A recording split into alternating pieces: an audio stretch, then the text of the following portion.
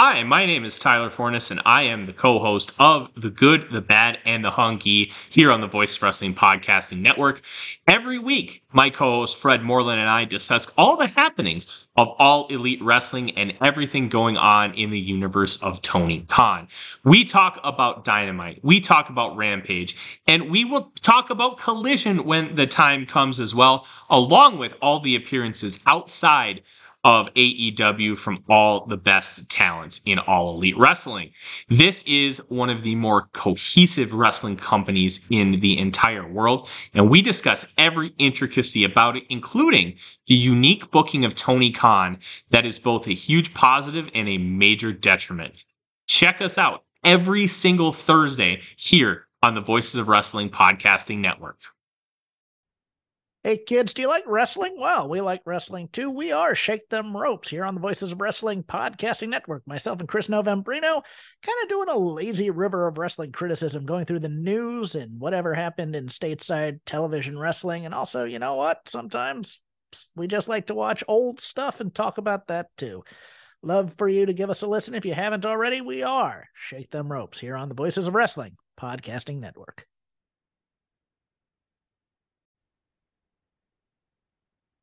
Welcome back, everyone, to the Gentlemen's Wrestling Podcast. I am your host, as always, Jesse Collings, and joining me here for the second time for kind of like a, I don't want to call it a part two, it's more of a sequel to our previous podcast earlier this year about CM Punk. Uh, it's Trevor Dame. Trevor, how are you doing today? Uh, I'm doing good. Uh, it, it's funny because I think after we did the first one, you, I, that was like the most positive feedback I ever got from a guest appearance on someone's show. You were like, r- right after you were like, should we do a follow up the next week? Because like news kept breaking. And I was like, uh, maybe we should wait a while because I'm busy and also because wait until a bunch more stuff happened to CM Punk. But the funny thing is, I feel like you could have done probably like somebody could have done a weekly CM Punk podcast at different points during this story. Like you could have gotten seven shows out of this like a punk a punk watch podcast where you just spent like 60 minutes every week reviewing punk news you probably could yeah. you could have you could do that like between when we recorded this this the first episode in the spring to to now i yeah. feel like you definitely could have gotten away with that it, it's it's a it's a weird thing because like i simultaneously get fatigued while being fascinated by the punk story. Like there are times where I'm like, I like, cause I have friends who will be like, aren't you tired of this? Or I'm getting, I just want this to be over. And I will feel that. And at the same time, every time I feel like I'm feeling that way, some crazy twist will happen in the story. I'll be like, I can't help it. Like you still have me. I, I, I, I can't not be interested in this. I was exhausted by the punk dis- discourse, but then he got fired and it kind of felt like, oh, okay, I can talk about this now again because something so significant happened and kind of the, you know, he's been pushed out of AEW formally now. So it feels like we're not necessarily talking about an evolving situation anymore. So it's less exhausting. We can we can look at more of like a retrospective of his time yeah. in AEW and kind of what went wrong on his end, what went wrong on Tony Khan's end, what went wrong in AEW as a whole. We can look at that now without really having to feel with you know the constant speculation about what's going to happen. We're not talking about the the volcano that's about to erupt. We are now talking about the eruption itself. And that's a little bit more tolerable for me because it was turning into an extremely exhausting topic that was totally sucking up the oxygen of anything else that was happening in the company. Yeah i mean that that's the one thing about this and i don't know if everyone feels this way but i definitely feel like in some ways like however you feel about Punk and, and losing him, like I feel in some ways it's a it's a bad thing. It's like a tragedy that he went out like this. But like I I wrote about this I think on Twitter. I definitely got the feeling this time versus after for Brawl In versus Brawl Out, like Brawl Out, there was a lot more agita online. A lot of people like, oh, this is horrible. We can't lose Punk, you know. Where this time I saw a lot of people on like every side basically being like, I'm just glad this is over and this isn't constantly a topic and constantly hanging over everyone's head and being like this, you know, people call CM Punk the black cloud. Like it was kind of a black cloud over the whole promotion for good or bad. And so, yeah, in that sense, it, it's sad that it got to that point where it's like when you go from your you wanting your parents to stay together, you want them to start stop arguing and just get along to like you just want them to divorce because you're tired of the arguments. Like that would honestly be better at that. It, it had gotten to that point. Yeah, I mean, and it, it felt like it was this piece that was really like poisoning everything about AEW. Um, no matter and especially because of the media environment we live in, like no matter what happened on the show the the night before, or someone could have a really good match, or there could be something you're excited about. It always came back to Punk. It always came back to whatever backstage news was happening. I mean, I had Warren Hayes on my show shortly after our first podcast, uh, as I was making the tour of just Canadian pundits appearing on my show. um, and we just basically talked about like the whole economy of news that was just basically CM Punk news and updates. And we, you know, we talked about there being a, a, a podcast that would just update CM Punk news. I mean, that was like a lot of wrestling podcasts. Wrestling Observer Radio had a lot of CM Punk news pretty much every week. Pretty much any weekly, you know, generic re- recapping the news wrestling podcast was spending a lot of time talking about CM Punk because it just always seemed to be like something was popping up. And it came, I think, oftentimes at the um, detriment of what anything else that was happening in the company and really all of wrestling. There was nothing more magnified than the CM Punk story, even in WWE. I remember, I don't know if it was with you or Warren Hayes, but I mentioned like WWE just got sold or WWE is having a merger, like the biggest news about WWE possible. And we're still like, that's like a one day story. And then we're back to whatever CM Punk did. It was madness.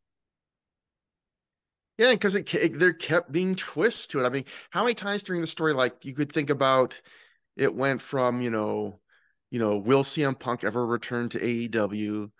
To okay, will he ever work with the with the elite? To you know, will he return to AEW again? To now it's will he go to WWE? Like like this like just the scope of the story in a year's time, like the ultimate end possibility keeps shifting. So, I mean, that's what kept it fresh in that sense. If you could call this story fresh, it seems kind of weird to trivialize it like that, but I mean, it kept the argue the, what we were even discussing kept changing.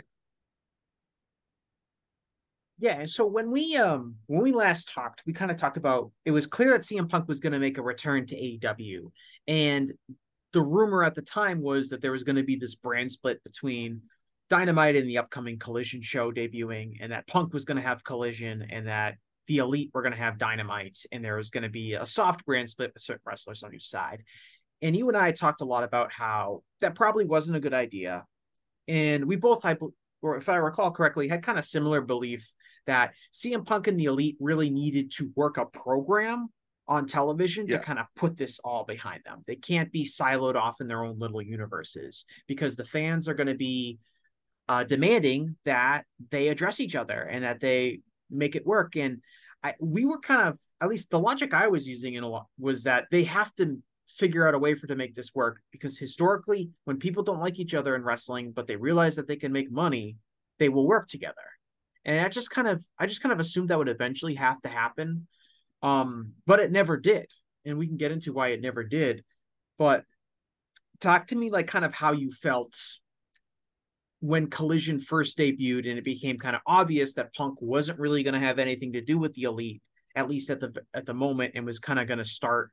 You know, he had the match with Samoa Joe. He feuded a little bit with Jay White. Then he had the Ricky Starks program. How did you feel about in terms of like this is CM Punk's return to pro wrestling, and it kind of has nothing to do with the Elite outside of some veiled shots he's taking in a promo? It's it, it's funny because on one hand i really liked like the punk collision you know i did feel like a, a somewhat different show while still feeling like enough like AEW that didn't feel like a completely different product, but it, it did feel like it had its own kind of pace and, and maybe a more limited scope. And, and I enjoyed that, and I, and I liked Punk's work. I don't know if he quite seemed quite as spry as he did the uh on his first AEW run, but he was coming back from a long layoff. Um, but there was something that felt off about all of it. And I think part of that was that I think something we probably discussed on the first time I was on, or at least if not, that's what I wrote about, which is everything Punk did felt a little duller than it should have by comparison because you had this big feud with the elite hang over there like like punk doing these very basic kind of didn't do there wasn't much meat to the Samoa Joe feud. Like they barely put that together the match in time for um all all in and it was like the most basic kind of angle setup. You know, the Ricky Starks thing had one or two good angles, but again, it didn't seem like like Punk was not cutting many promos on these feuds to really build them up. And it was just like it was hard to take it seriously that like oh he's really mad about Ricky Starks or he's mad about Samoa Joe when at the same time during this period he's cutting promos about people he really does have issues with that are crackling with all this energy and then by and I think the problem is by comparison it makes all the traditional wrestling angles just feel for lack of a better word faker like and in a way he brought that on himself because yes you know that first collision promo where he taught he brings up the counterfeit bucks line that's a that's a fun snarky line it got a lot of attention a lot of talk but again it was it, it, never paid off to anything. You know, the the hangman, you know, peg warmer thing that Grad was not on the air, but he had to know doing it right off. That was instantly going to make it its way online. People were going to film that on their phones. Um, again, it completely made everything else he was doing. It's it, you know, it seemed like he was more invested in that than the feuds he was in. And it, the one that the one last thing I'll just end on this is it's funny like it's like a lesson he did not learn because I remember the uh years and years ago when he was doing like kind of hinting around with Steve Austin about a feud, you know, where they were doing that thing where they had a sit down interview together to promote a video game that one of the WWE games they were both in. And they were having some fun kind of back and forth and people were getting excited. And the word was Vince McMahon got really pissed off and like shut that down. It's like, stop doing this like playing footsie with each other because if Steve isn't going to do this, I don't ever want to um you know tease a feud that I can't deliver on. And you know, there's a lot of things in life and in wrestling I don't agree with Vince McMahon on, but I do agree with that. And every little mention Punk is doing with this during the collision days, every time he does the peg warmer, every time he did the, you know, the counterfeit bucks line, it's like he did not learn that lesson, which is you're you're stealing focus and you're just getting people's hopes up for something at that time you had to at least know you're not going to deliver on. Yeah, that's an interesting point you're raising. So you're kind of saying like by making these, you know, worked shoot style pro uh little shots at the elite in Hangman Page, he's kind of undermining the the real feuds he was working on television because deep down, you know, fans really want to see Punk and the Elite feud. And if he knows that's not in the cards, but he's trying to, I guess, will it to happen by making these little comments, it's undermining, you know, his feud with Samoa Joe or his feud with Ricky Starks because they feel like they're coming off as second fiddle behind the real story, which is CM Punk and the Elite. Yeah, and, and to be fair, the first comment, the counterfeit bucks, bucks comment, like I can kind of let that go because in a way, I, I part of me does feel like you know what when you come back, it's every, what everyone's talking about. You kind of maybe need to. You could argue maybe you need to make one comment just to acknowledge it. You know, let people know like, hey, it happened. A little wink, and then move on. But then you know, again, something like the peg warmers hangman thing, like just it, it becomes a pattern you know? It, it, it just becomes a pattern and a distraction. And it, it was the thing people were talking about far more than the two feuds he was actually building to matches on. Yeah as far as i'm concerned with punk coming back uh, i think in some ways the demand for you know punk and the elite to to, to wrestle from the fans was not there the way I thought it was in terms of I thought CM Punk every match he he would wrestle anytime he came out in front of the live crowd people would chant the elite Adam or Colt Cabana or whatever. And whenever the the Bucks came out people would be chanting for CM Punk. And that really didn't happen. It came to the degree that I started to believe that in some ways like maybe they can just silo them off and this might be able to work because I thought the fans would totally kind of like take over any segment either performer was taking part in because they wanted to see this this match happen. But they never really did that. Um so on one hand I was thought for a brief period of time very brief I thought this might be able to work. Now you touched on something with your comments in regards to different programs he was working in. I agree with you in the sense of I enjoyed Collision um, for what it was trying to accomplish in a lot of ways as a AEW program that felt different than Dynamite. Um, obviously, it was taken very seriously. Uh, unlike Rampage, there were major matches on Collision. There were major storyline developments. It was the exclusive home, essentially, to see some of the most prominent wrestlers in the company. With that being said, and even with Punk's performances, I can't necessarily say that oh he cut this terrible promo or he oh he had this terrible match because he really didn't. But I found C the the creative end that CM Punk was participating in, I kind of thought it was a complete disaster. I thought if you just looked at what he did on Collision, the two months and or one month and change that he was there, he debuts he, he re-debuts. He has his match with Samoa Joe, which he wins. Uh, then he goes on like this short feud with Jay White. Then he then without really resolving that feud with Jay White, kind of still in the background, he's feuding with Jay White. Uh, he starts feuding with Ricky Starks. So he's now he's kind of feuding with Ricky Starks. And then at you know the Wembley Stadium show at All In, who does he wrestle? Not Ricky Starks. He's wrestling Samoa Joe again. Why? Who knows? And if he was, since he did wrestle Samoa Joe, why why did Samoa Joe lose the first match? Wouldn't it make more sense for Samoa Joe to have won that first match so Punk wants revenge? Um so we kind of had this sloppy feud with like three different people. Um, and then on top of that, he's making comments about the elite. He's making comments about Hangman Page. He's running around with a his own version of the world title, calling the you know himself the real world champion. So he's doing this like pseudo feud with MJF. And so he's feuding with like these seven or eight different people. None of them are as effective as they should be. Uh, with, in terms of the elite and MJF, it feels like he's shooting his own angle, and the other parties want absolutely nothing to do with him. That seems very clear now. Um, and so I just I was like, what what the fuck is this guy doing? It made no sense, and it really uh, undermined what could have been a much stronger return for him uh, coming back to the collision if he was just feuding with one person or it was just done more linear it seemed like his the creative on his part, and it seemed like he had a lot of control over his creative, and he had a lot of control over the creative and collision in general. Um, that seemed like it was all over the place.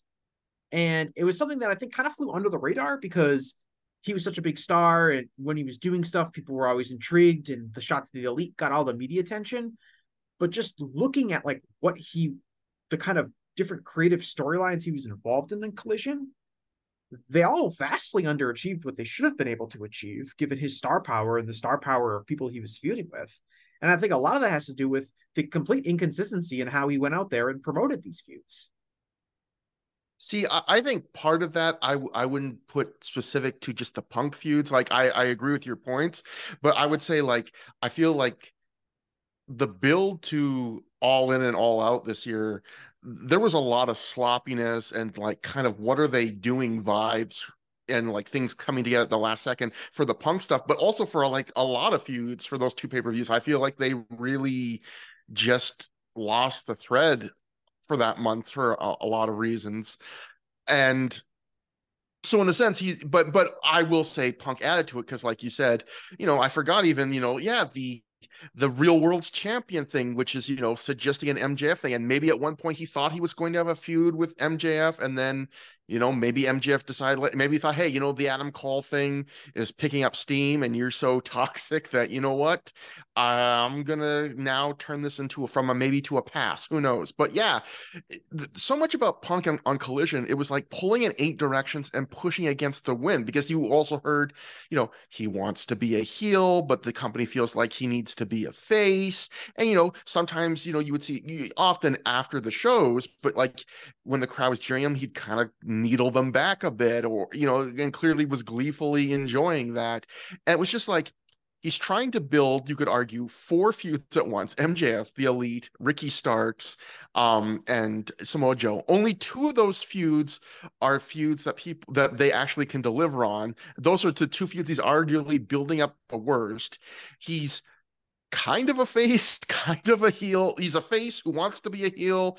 Like in a, in a way, I think that was reflected. Like it was funny. It was interesting to hear you talk about what you kind of expected the reactions to because I wonder how much pushing in all those directions affected his reactions. Because I thought his reactions during this last run were interesting. Where a lot of times, uh, not on every show, but a lot of shows, it felt like Punk would get an initial pop when he came out. It'd be like maybe a 70 30 or 80 20 cheers to booze.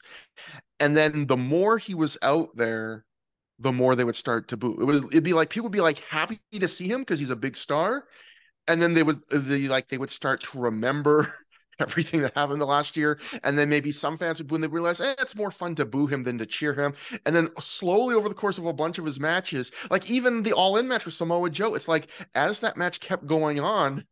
Even though the story of that match is like be Punk getting sympathy, getting the shit beat out of him, the more that match goes on, by the end, it goes from like a split crowd to they're mostly on Joe's side. And I feel like that kind of typifies Punk's whole last collision run, which was he was kind of pushing against things and getting these weird middle ground mixed reactions as a result. So you mentioned that the, really across the board in AEW, um, the creative building up both to all in and all out was a bit of a mess. It felt like there was inconsistencies between Dynamite and Collision.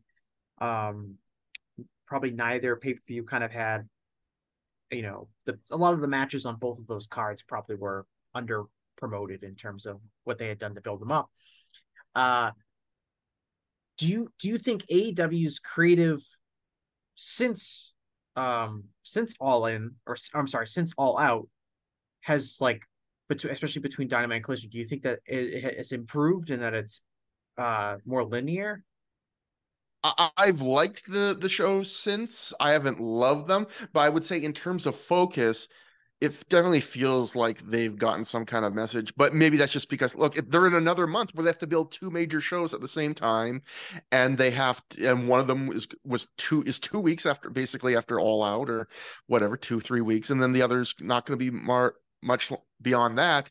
But it did feel like right after All Out this year from the very first Dynamite, both the both Dynamite since then, every single segment on the show has been focused on building a match either for you know Grand Slam or or Wrestle Dream, and that's what they needed to do. That's what they were missing last month. You know that when you have this many shows coming up this quickly, you can't waste time on just random matches. You know, I, am not I'm not against random matches, but when you're building up multiple big shows in a very short time period, you kind of have to get on your bicycle and start pedaling like very quickly. And so there are still things I see about AW Creative that I don't love that I've been creeping in, but in terms of focus, I think it's night and day. And it's interesting because one thing Tony Khan's typically been good at is I think he's a pretty aware about criticism, and you could tell he had heard that criticism criticism at the all out press conference and that it had got to him but he was kind of defiant because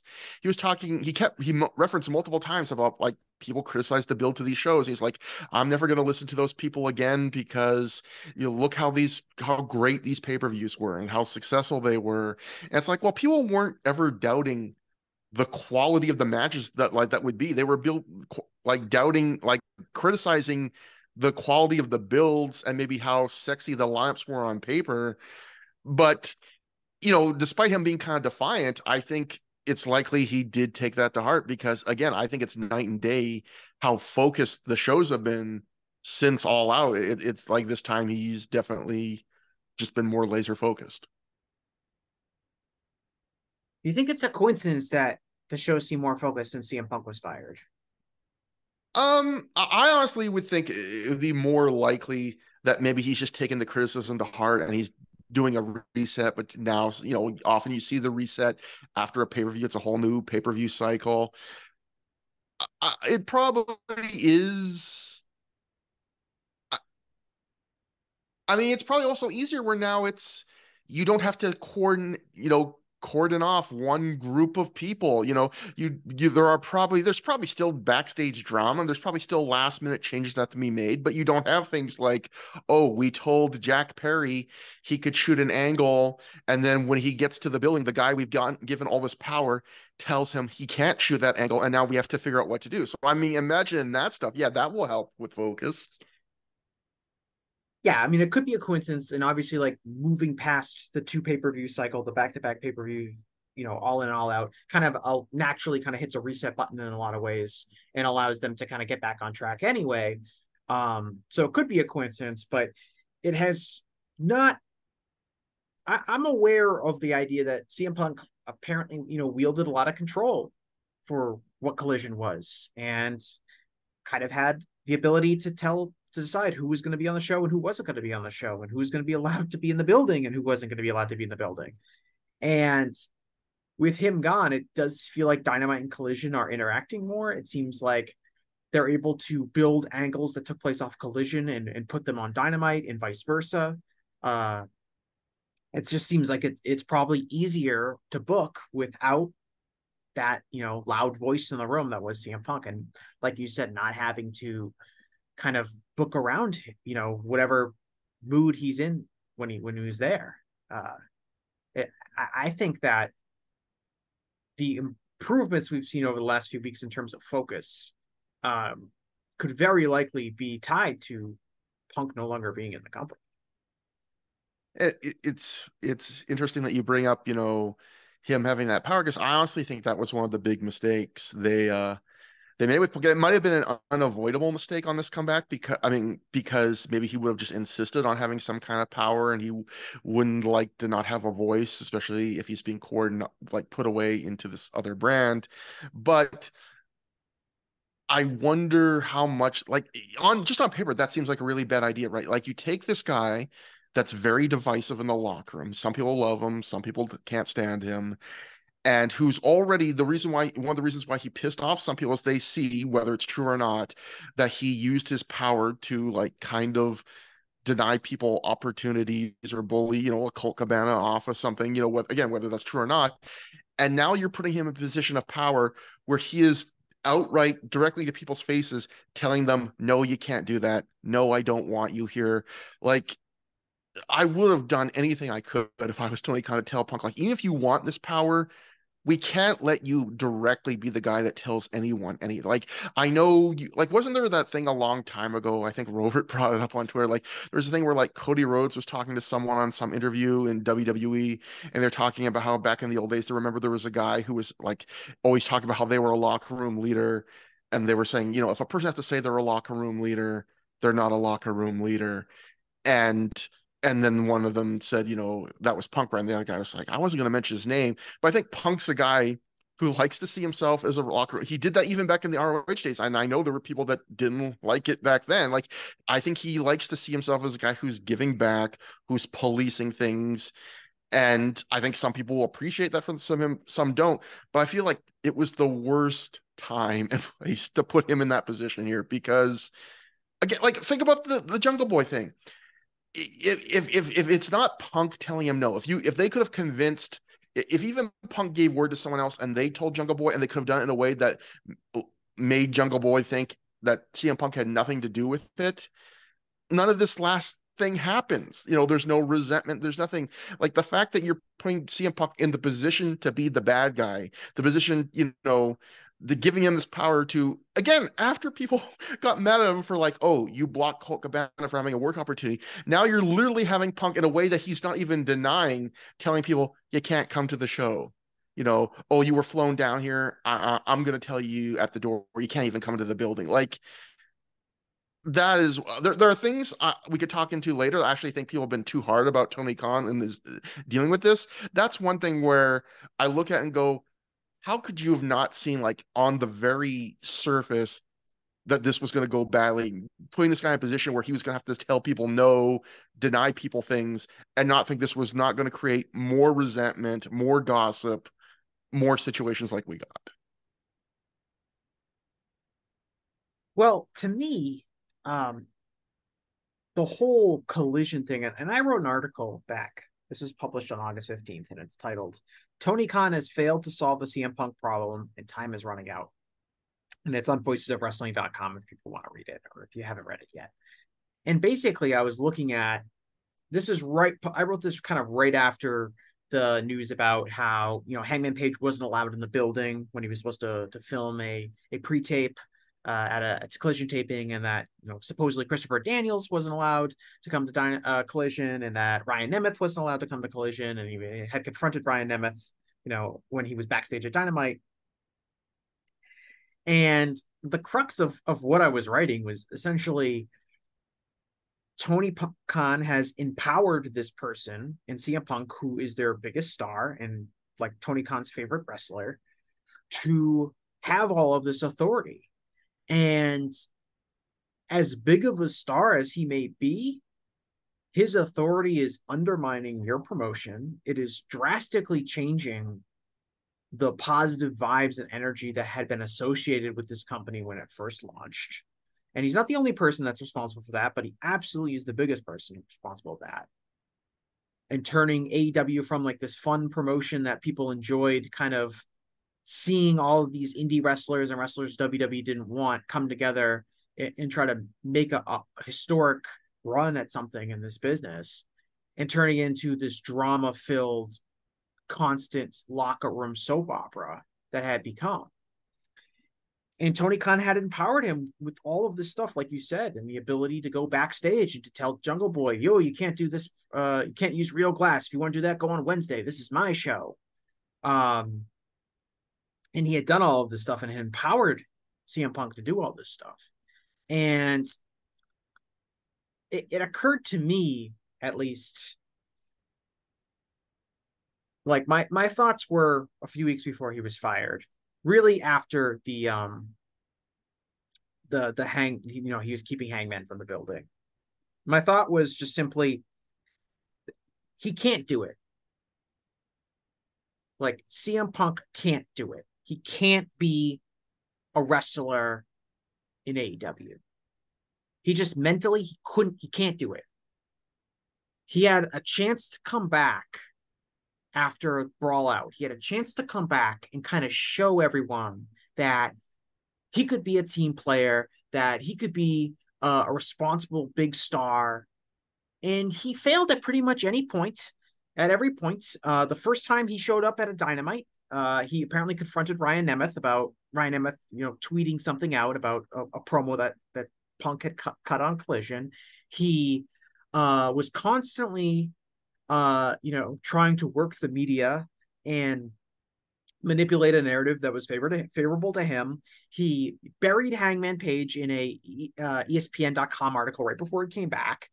He um was just constantly a negative presence in AEW. Uh, and it just became really obvious to me. It's like he's he had to go, and this was before the All In fights and and you know the the the backstage, you know, production cameras spilling everywhere and Tony Khan fearing for his life that we heard about later. But after I kind of heard it's like, okay, he's banning Hangman Page from the building, and then the whole Jack Perry story that came out the day after, which was really obvious to me, uh, why that came out a day after the Hangman Page story came out. Um, and it was just like, this guy can't do it. He can't be in the b- backstage anymore. He can't be a wrestler in AEW. He's not professional enough. He's mentally unable to accomplish this role. And it's sad because he's a big star and he would be capable of great work if he was capable of doing this, but he's not.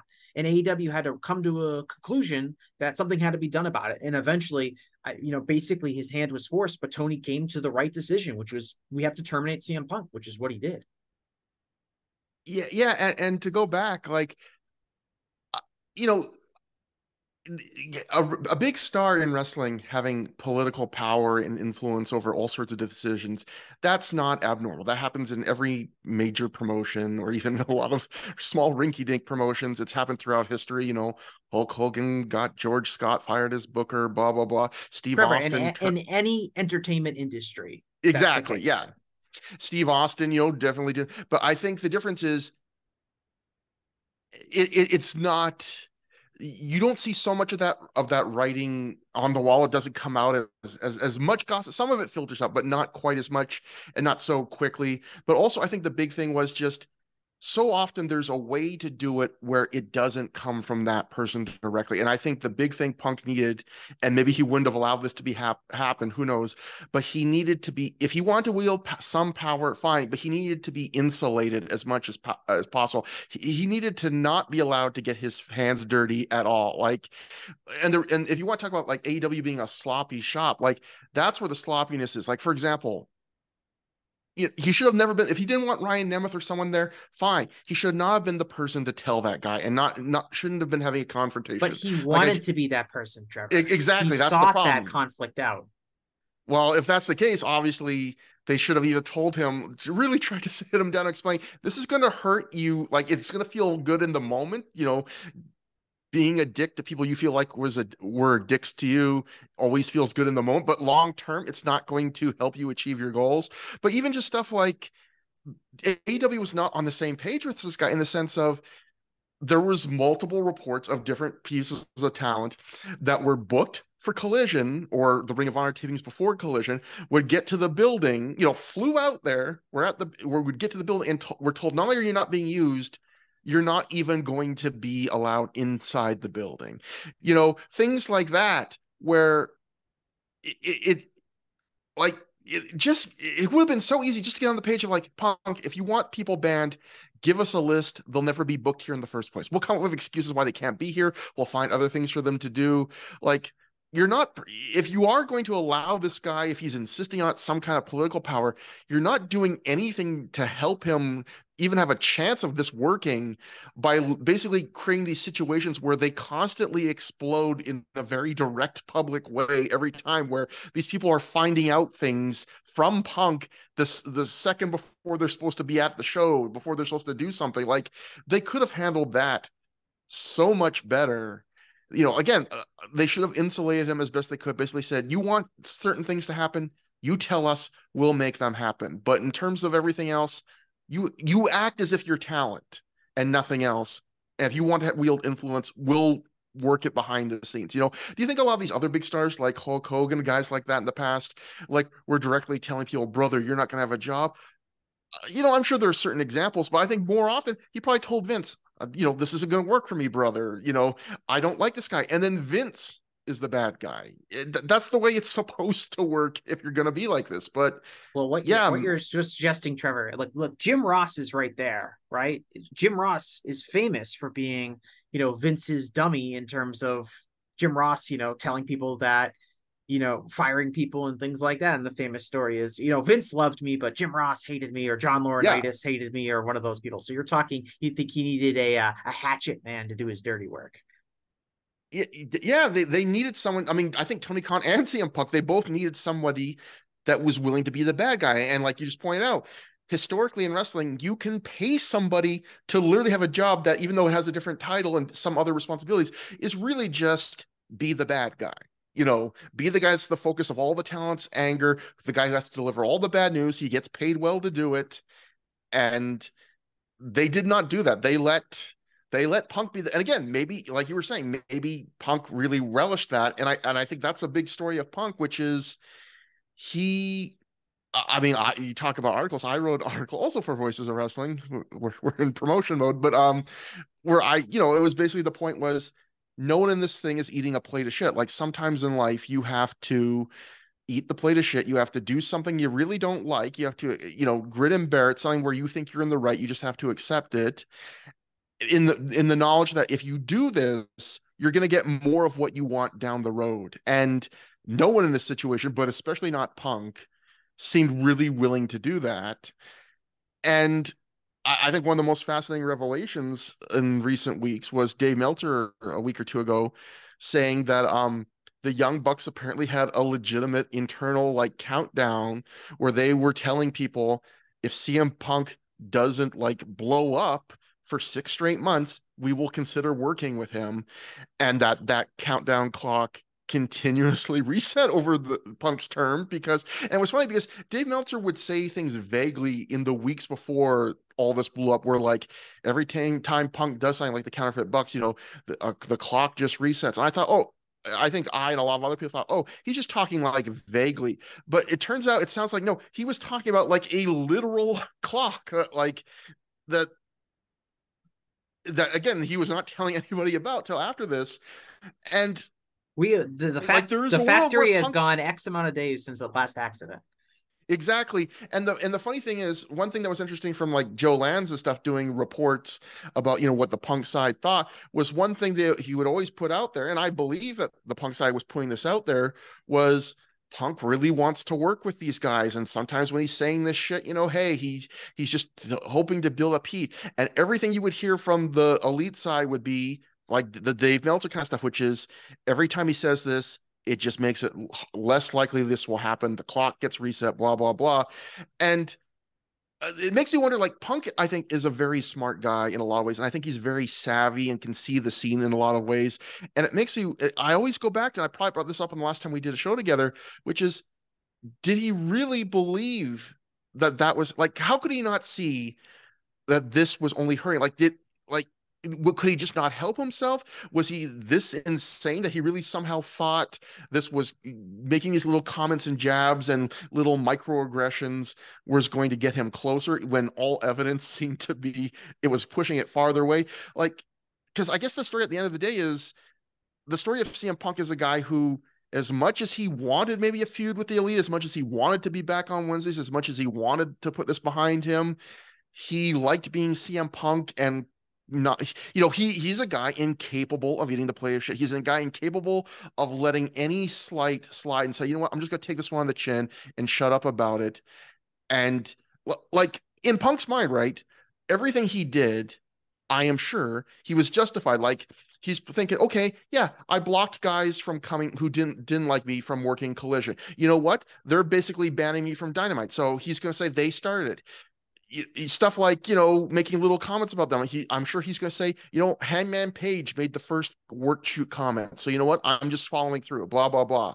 But at, at some point if you really want things you might not have been the guy in your mind that started things but you're also not the guy who's finishing it. You you could have been the guy that finished it that just shut up you know, uh, let some people you don't like work there, even though you're not allowed to work on Dynamite. Be the bigger person that will reflect well on you. And maybe, you know, maybe the Bucks didn't really mean that six month thing. You know, maybe that's posturing. I have a lot of different theories that, you know, that could have been them legit saying that. That also six months, funnily enough, also syncs up really well with when their existing contract before they renewed would have expired. So maybe that was a nice little chip to give to Tony during negotiations. Like, you know, if he stays for six months, you know, right when we would start a new contract, you know, maybe we'd work with him. Maybe this just is a way to make themselves look good. But it also could have very well been an honest, genuine, sincere thing from the Bucks. And again, if that's the case, Punk could have had a lot of what he wanted if he just didn't tell Ryan Nemeth not to show up. If he didn't get mad at Jack Perry for making a dumb comment about glass. If he didn't block Christopher Daniels from showing up at a I mean, it's just I don't know. It, there's so many angles from that. It's so confusing to know what's going on in his mind about this stuff. Yeah, I don't want to diagnose him too much. I think there's yeah. like a level of paranoia and ego that was driving this. Um, and I think, I mean, people get a people get like offended, like you say someone's stupid because saying someone's smart, saying someone is really smart and someone is really stupid is is not really an accurate portrayal of real life. People, we all know people. Everyone is smart in their own way and dumb in their own way uh, for the most part. And I thought I thought Punk handled this like really dumbly. Like I thought his instincts were bad. I thought he didn't read the room at all. If this was his plan, it was a terrible plan. I thought he really sloppily tried to work the media uh, into feeding different narratives and things like that. Uh, I thought it was just I, I was amused by some of the attempts at it because it was so obvious. Like for instance, let's let's go back in time here. Uh, the um, story comes out. I believe it came out on a Sunday that CM Punk was uh, had had stopped Hangman Page from uh, attending a, an episode of Dynamite or a Collision, and he he was supposed to you know Page drove down from his home in Virginia to a show in North Carolina, and was supposed to do a pre-tape and he got to the building they said ah maybe you can tape this outside the building and now apparently punk didn't claim that he wasn't responsible for that but and, and that goes to your point trevor about like getting a hatchet man to come in and do punk's dirty work even though uh punk explicitly wasn't like slamming locking the door and, and telling page to scram people figured that page wasn't allowed in the building because of punk yeah, And and, and there's a vacuum, right? Like if someone doesn't directly take the fall from it, they're going to assume the Yeah. obvious thing. well someone could have been like oh yeah we're, we're taking you out but and, and that whole thing set my alarm bell ringing because it's one thing for like Ryan Nemeth to be banned for collision because you know he's a prelim guy and big stars are allowed to bully up prelim guys but with Page is a maybe not as big of a star as CM Punk but a huge star in his own right and had just signed a, a surely multi-million dollar contract extension with AEW so we're talking about a major major star that you just invested a lot of money in, and even he is being prevented from entering this building because of CM Punk. That's a whole different uh, kind of can of worms. But that story hits right, um, and you know, there's a, a day or two goes by where there's all this negative PR for Punk. Punk's a monster. Punk's banning Christopher Daniels. Punk's you know banning Hangman Page from the building. What a what a what a terrible person. All that stuff is hitting the airwaves. Then all of a sudden, for whatever reason, suspiciously, a story breaks that tells about this time CM Punk showed some serious veteran leadership where he had to, had to come in and tell Jack Perry to not use uh, real glass and it wasn't safe. And the story comes out that presents Punk as being like this very enlightened veteran leader of a locker room. And apparently, this incident with Perry happened weeks and weeks before. It wasn't something that just had happened. So this story gets manufactured out of kind of thin air right after Punk just had a terrible PR week uh, in relation to the Hangman Page story. And to me, uh, you know, with my owning my my instincts, which are are perfectly owned through years and years of political reporting, could could sniff this out in terms of okay, well, Punk leaked this out, or someone close to Punk leaked this out to the media to kind of counteract the negative press that Punk had gotten, which ironically ended up totally biting Punk in the ass because it lit a fire under Jack Perry, who was probably mad that he was just dragged into this, you know, he was made to seem like a, a petulant child in order to stroke Punk's ego and to get some Punk some positive PR. And that is surely what led to Jack Perry saying the real glass line uh, on the All In pre show, which of course led to the backstage fight. Um, and all this went because Punk really sloppily tried to manufacture uh, and control the story about what was getting out there and how people viewed him. But the train was already uh, had already left the station at that point. There was no, I think, rehabilitating his re- reputation amongst people. Uh, and so, with all of that being said, uh, I think to to your point, Trevor, about how Punk could have gotten all he wanted if he had just kind of laid low for a while or, or you know lasted six months or anything but he didn't really want that. He wanted to feel like he had won which was i guess in her, his terms trying to make it seem like you know if he took enough shots at the young bucks or he took enough shots mjf or whoever he was enemies with they would eventually come to come around and play ball because that's how maybe the business that CM Punk grew up in in the background that he recognizes that was how you did things and the Young Bucks come from, despite there not being a huge difference in age, Young Bucks come from a different environment. Um, and the business is different. Like we talked, I mentioned this earlier. We just assumed they would work together because if they were able to work together, that would mean money. But all these guys were making millions anyway, whether they work together or not. Yeah, they're Um, not getting points on the. I mean, I don't think they're getting any points on like the gate or the pay per views or anything like that. So sure. Yeah, and they're not if getting the a- Bucks just re-signed, they're not going to make any more if they. I mean, they would. Be, it would be good for them as employees. Yeah, to- and they're not getting a piece, you know, a piece of the house tickets or whatever, uh, a percentage of house tickets sold and things like that. It, it and and that's a that's kind of a major difference in terms of you know if we go talk about fe- people not liking each other in the '80s or whatever. Well, guys would work together because they knew their money. Hogan and, and, and Savage, even though they didn't like each other, would work together because they knew they could draw money when they were feuding with each other, even if they didn't like each other. And the business is radically different. Um, you make money by you. You want to know how you make money in wrestling, Trevor? Now Wow. you just shut up and you just go to work as a professional and you hope management likes you enough to kick you around. You know, Dolph Ziggler has probably made more money in wrestling than like all but a very small handful of wrestlers, including many wrestlers that were much bigger stars than him. And he did that largely by just being a guy backstage and being reliable that's really how you make money in wrestling these days. Yeah, th- that's the dream WWE job is like to be the mid card guy. I mean, that's not the dream job, but like to be that guy that's just high enough that you never fall into like the bottom rung when it's time for cuts, but you're just high enough that they kind of they kind of forget you exist, and you you just wake up one day and you're like a, a 15 year lifer veteran there. Yeah, knock on wood, because cuts are supposedly coming tomorrow. Yeah, although it sounds like that's going to be probably behind the scenes a lot of the the the lovely word redundancies you know yeah. love nick, that nick word. hausman but, um, i saw said that talent cuts are expected so we'll see we'll see what happens i'm sure by the time most people listen to this they'll uh Dolph Ziggler could be no longer with the company, but the point still hmm. stands mm. that like your Dolph Ziggler's, the Miz, R-Truth who will have a job of life because he can make Vince laugh, which is a, a, critical role.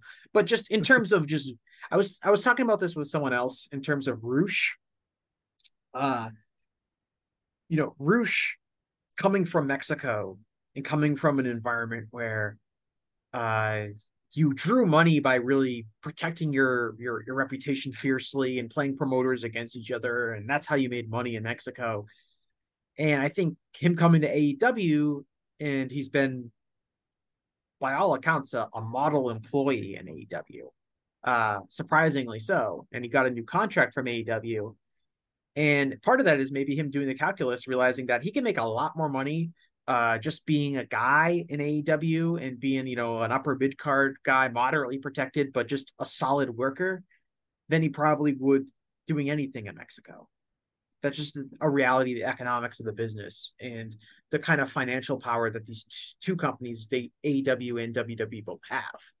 And the business is different. And I don't know if CM Punk calculate figured that into his calculated thing, especially because uh the you know Tony Khan was willing wasn't going to force the Young Bucks to, to work with him, and he wasn't going to force MJF to work. Just like Tony Khan wasn't going to force CM Punk to work with people that he didn't want to work with. Yeah. Um. So unless I just I just think he he almost went about this in like an outdated way.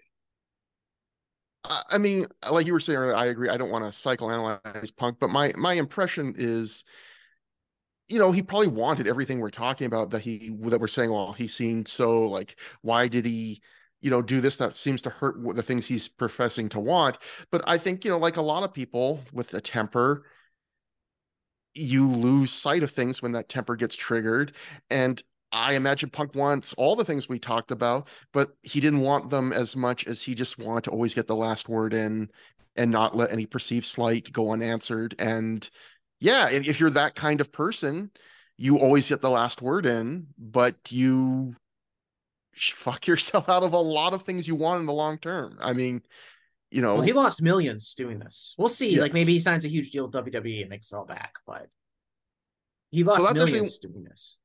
I was going to say, even though this is your show, this is one question I'm interested in, in asking you because I'm interested in talking about this. Go ahead. You know, there's all these all these theories going around, you know, in in the rafter punk left, eh, where I know from reading some of your articles recently about wrestling journalism, a thing you clearly love, Jesse, which is the the the, the old um anonymous sources say, but there was lots of um, you know, some people in AEW think that Punk wanted out, and some of them think he wanted out once he saw the collision rings weren't going to be that good. And some people think Punk wanted out when um, just right around now because he saw that they were going to start getting clobbered on the um, when they started to face football and so the old hulk hogan i'm going to go on vacation for a month when i know something's going to happen that's going to destroy the ratings no matter what and then some people think he wanted out when the elite um Uh, resign. And that's something else that Dave Meltzer was kind of hinting at that there was this belief that maybe Punk was kind of hoping, and maybe, hey, maybe that's a reason he was doing these little jabs that he was trying to make it uncomfortable for the elite, the elite, with the thought that if I can kind of push them out, this is my castle again. I don't. I mean, that's be... what Dave theorized right as soon as he started making comments about the elite, even when he was still injured, with the idea being but, that he's he's saying that he wants to work with them, but he really means that he doesn't want to work with them, and he's trying to kind of muscle them out of AEW. Yeah, and so there's all these theories that Punk didn't want, wanted out and want all these things, and that's why he did what he did, the Jack Perry stuff. Now, I, am the kind of person. I'm an Occam's razor kind of guy. I believe the simplest explanation usually is the right, the, the most correct, the most likely to be correct. So my my theory on that is Occam's razor in this situation would be CM Punk is a hothead. He always likes to get, he doesn't like just taking something on the chin. He saw a guy make in front of the entire world a comment referencing him that was, you know, very much in his face.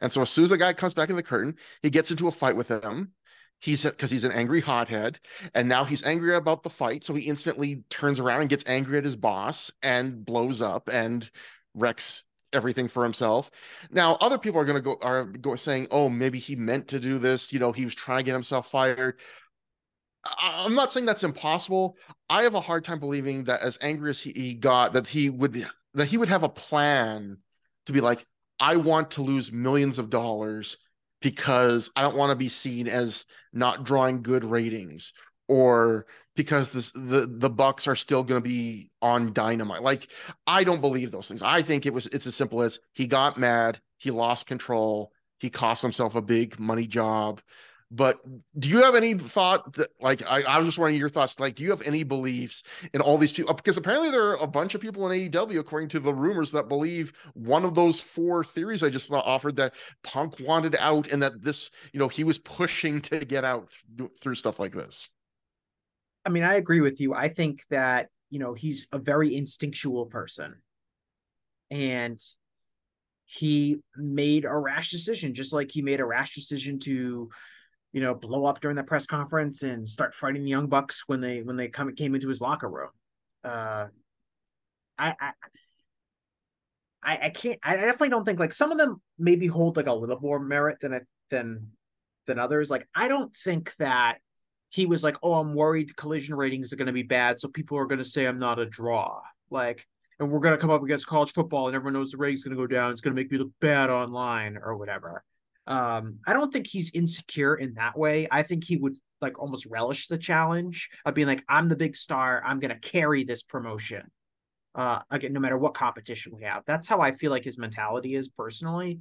Um, so I don't really buy that. I could see like the Young Bucks resigning, and if he was he's he's upset about kind of Tony, you know, empowering them more and more would be frustrating, and that frustration kind of boils over and leads to this physical confrontation with Jack Perry that he didn't need to have.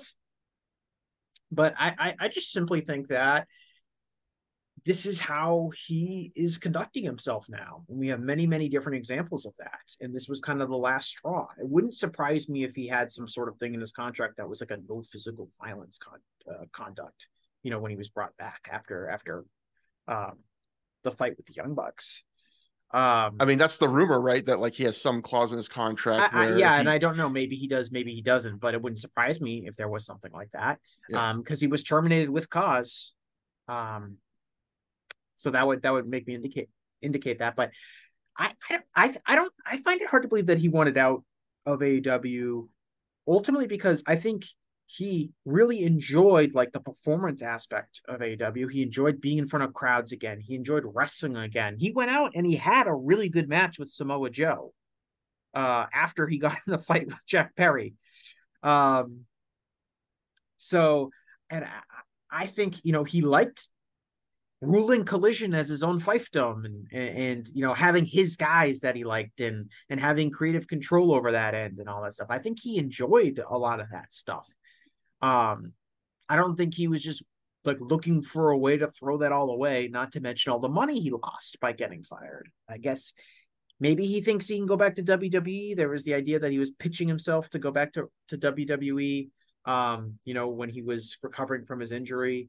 Uh, and he was technically still under contract with AEW earlier this year or late last year. But, eh, you know, in that way, he'll be able to make more money. But I, to me, I, I think this was just a pure kind of instinctual reaction for him. And that's kind of how he's conducted himself for most of his wrestling career.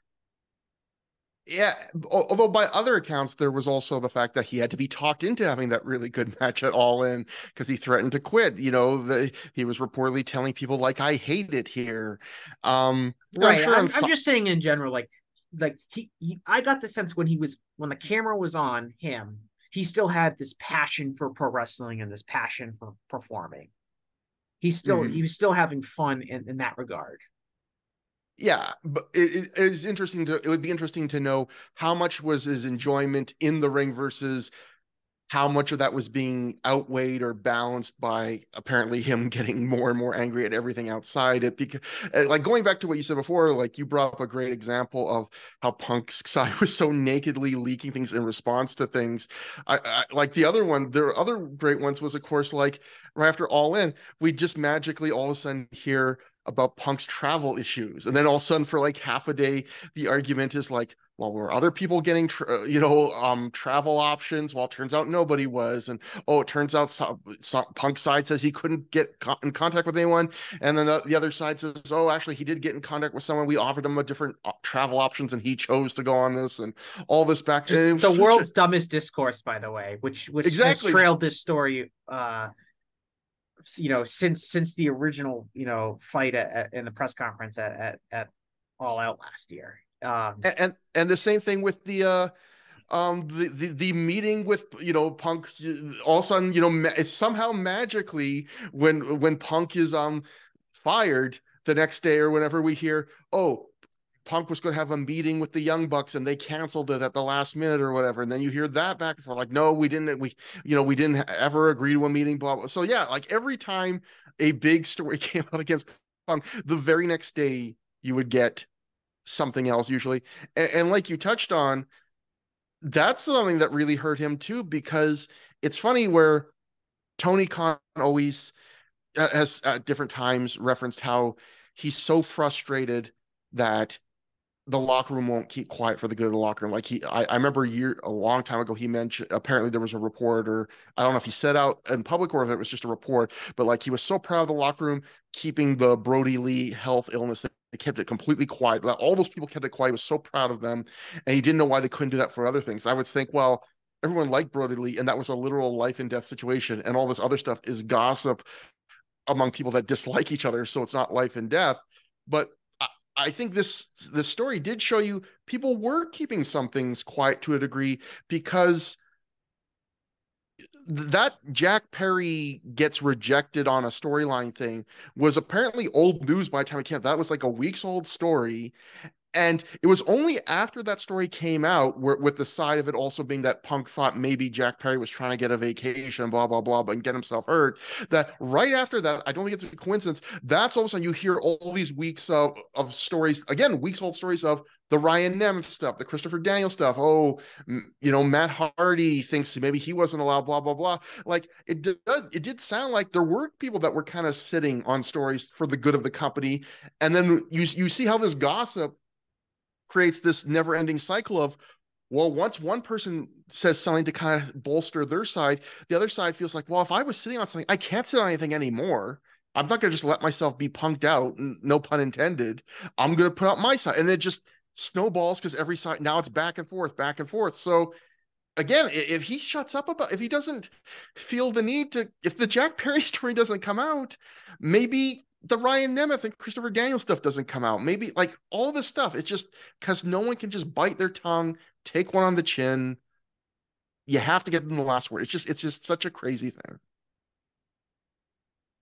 Yeah, I mean it's like wrestling is a is a industry ripe with paranoia and ego that's that's how it operates and you know you AEW as as as kind of like a you want AEW to be different. You know, I want AEW to be better than like historical pro wrestling has been. And in some ways there are. In a lot of ways there are. But there's always going to be ego and people wanting to get over as stars and people using different tactics to do that. And one of those is to leak negative information about people you don't like to the media. And the media is very willing to run any anonymously quoted or sourced information um, because that's the way the wrestling media operates for some reason. Uh, and uh, that's just that's that's the reality we live in, and it's not going to change. I would love it if it changed, but it's not going to change, um, sadly. And um, I want to kind of like, so do you think he'll go to WWE? Oh, I mean, who knows? Because if he if we see him again, um, I could see him coming back to AEW in like years from now. Like, that could be something that could happen because time heals all wounds and all that. But if we see him in wrestling, you know, in the next year or so, it's it's probably going to be in WWE. I don't know. I don't know, Jesse. I was gonna. Say I called you Matt. I do do, podcasts with Matt Feuerstein too much, but or not enough. Some might say. But um, I was just gonna say that that MLW is a dark horse. So all that for a dumb joke. But um, well, I mean, it certainly seems like Punk wants to go back, back right? With um, the fact that the, the story is that you know i mean he showed up at wwe all those months ago the story was that he was talking to them trying to float the idea that like i think i might be getting bought out by aew and if so can can i come here i'll be with you know i might here's a plan i could do this at the rumble i could do this blah blah blah and aew i mean wwe basically tell him thanks no thanks i i, I guess the interesting question would be like because who I, I don't think anyone other than maybe the people deep within uh, WWE right now, the top brass, know if they'll bring Punk in or not. But I think the the more interesting question would be, should they? Because on one hand, you could say WWE's numbers have maybe softened in the last two or three weeks a little bit with like that bad number against football and stuff, but overall, they're still the hottest they've been in a long time. Like in theory, they don't need CM Punk. So, in, in sense, there's a great argument for why take him on? Why t- accept any headaches, any risks of upsetting anything when we're already doing great? And then the other side is look how well Cody Rhodes did for us. You know, this is something that could potentially take a hot company, make it even hotter, draw some more big houses. It'll be a thing that gives another bit of a black eye to AEW. You can, you know, especially if this goes well for us, we, it'll it'll reinforce the idea that oh, AEW is just this sloppy shop that's can't run anything well. You know, look, he we we managed him fine this time. You know, even though it didn't work well for WWE the first time. Like, so I honestly, if I was WWE, I, I, don't even know what I would do. You know, I don't know if I would go, this guy's more trouble than he's worth, or if I would roll the dice because, like, in a way, it's just like it's the same conundrum for WWE as he was for AEW on this last little run, which is the best case scenario is really good, and the worst case scenario is what we got. So, I I don't know what I would do. think that um it's really interesting in the sense of if you're WWE right now, business is is going really well, all things considered. And for the first time in a while, it does seem like the company is able to produce some of its own stars instead of constantly relying on big stars from the past coming back. Like they don't they don't need the Undertaker or Triple H or Goldberg to come back to work a match at WrestleMania to make WrestleMania feel big and important they seem capable of being able to do that with their own roster for the first time in a pretty long time. So the necessity to bring back a wrestler like Punk is not as high. Uh, especially because that wrestler in CM Punk comes with a lot of baggage. People might not want to work with him. He might not get along with management. There's apparently plenty of wrestlers in uh, WWE that have already worked with Punk before and aren't interested in doing it again. And so all that is, is working against him. But at the same time, business isn't hot forever. There'll be a period of time, and you mentioned, you know, the really bad raw rating. Uh, this coming from this most recent Monday. Stuff happens where you say, "Shoot, what can we do to juice stuff happening? What what can we do to to make our stockholders, you know, feel confident about uh, the company? What can we do to please the network?" Uh, and CM Punk is that will will always be out there apparently willing to work. So stuff will happen where you'll be looking at the phone and being like, hmm, maybe we should call him. Uh, so I, I think it's probably, you know, likely based on that. Um, but it would be a very different environment. Uh, he wouldn't be empowered the way he would in, in AEW. He's not going to have his own show where he's going to run. And he certainly won't have the kind of creative control in terms of what his character is doing and who he's going to work with. Uh, and and I would be surprised if he worked a real schedule in WWE. It would almost make more sense to use him as a special attraction that works a couple matches a year, as opposed to someone that's on Raw every week, even if that's something that he's willing to do. I think Uh, that's the absolute best way to use him. I wonder if he would want that. I wonder if he, again, if he's this guy who sees himself as giving back and wanting to be a locker room leader. And I- wonder if he would insist on being day to day. Because, like you just said, honestly, it would be ironic because Punk's big thing when he was a regular in WWE in the final years, and I don't think it's complete without merit. I think there are parts of it he was kind of naive about.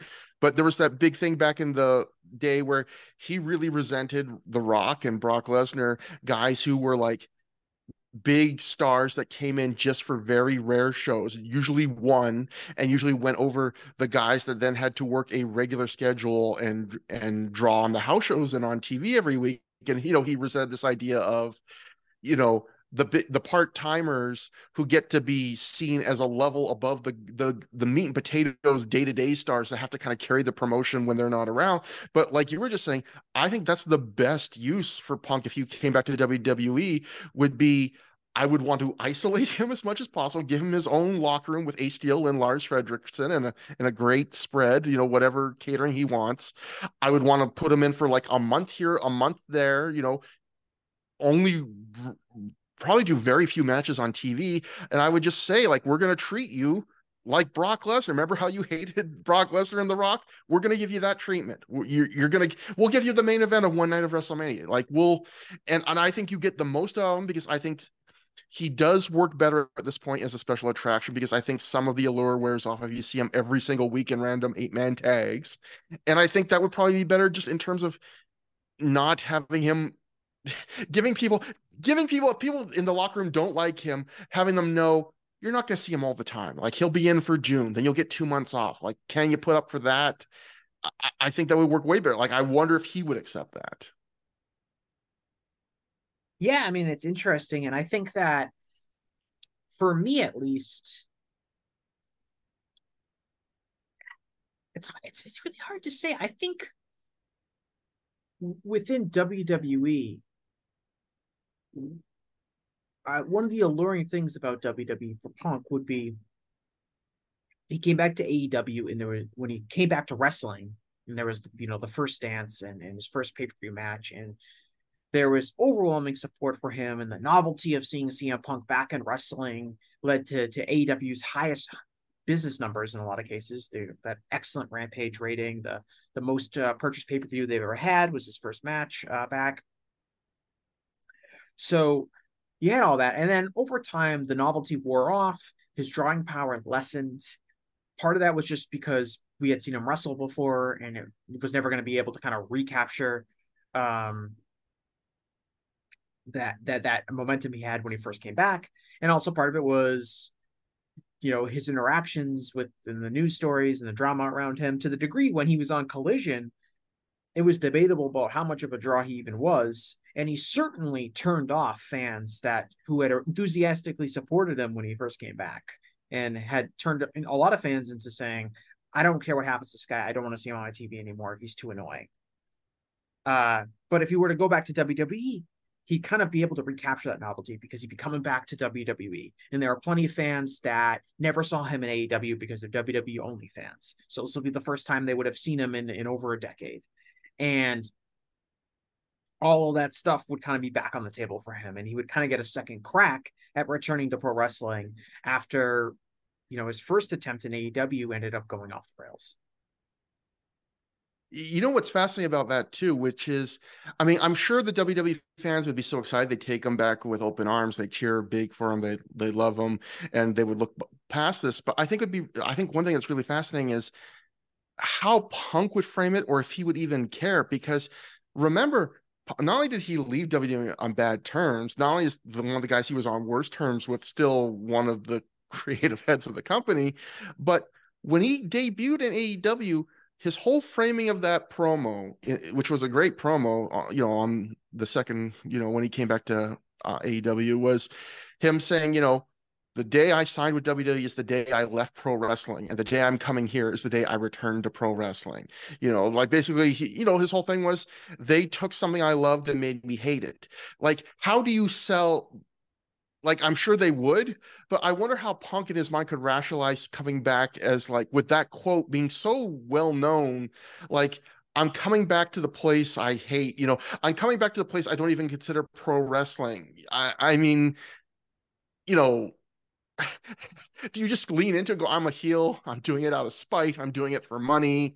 Do you just go full disingenuous and be like, no, it turns out I love this place? Like, yeah, he's a I'm sure liar. he- Wrestling, pro wrestling, is full of lying.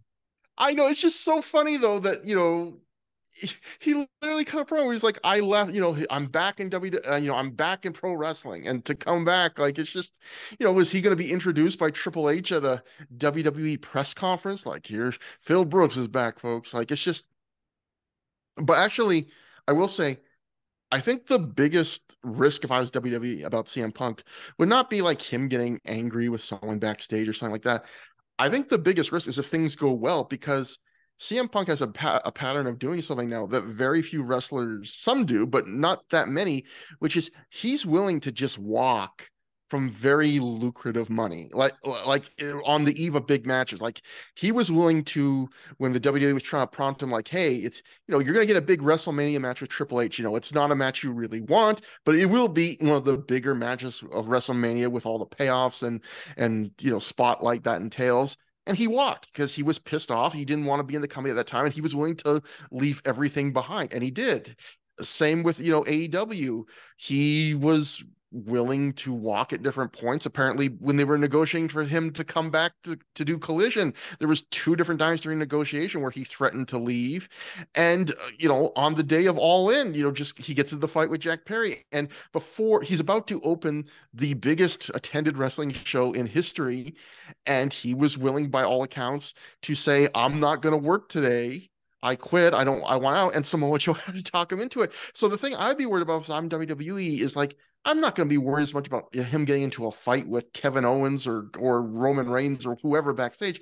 I'm worried about what if one day we book Roman Reigns versus CM Punk and we sell out like a 65,000 seat stadium for that match, and the week of the show he has some ultimatum or he gets mad or he threatens to pull out or he does pull out like what the fuck do we do now? Like it's something WWE could survive. They could do a make good match. They they they would be survive obviously, but that would be the scenario I'm more scared of. Is like what if we start to what if this guy does is a success again, and we do start to put some eggs in his basket.